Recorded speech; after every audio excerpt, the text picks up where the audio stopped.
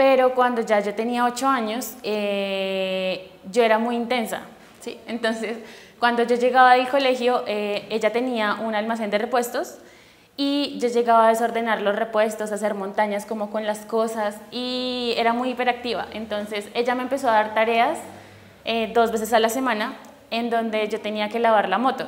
Entonces, cuando ya, ya la tarea la hacía súper bien, ya me aburría y volvía como a mirar qué más hacer. Entonces ella me daba tareas como, bueno, hoy le vas a quitar el guardabarro, entonces me tocaba lavar el guardabarro por debajo.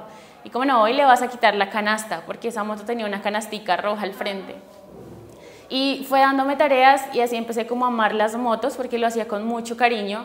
Y así también empecé a aprender un poco sobre mecánica, así fuera súper básica, pero empecé a querer desarmar la moto y ella me dejaba.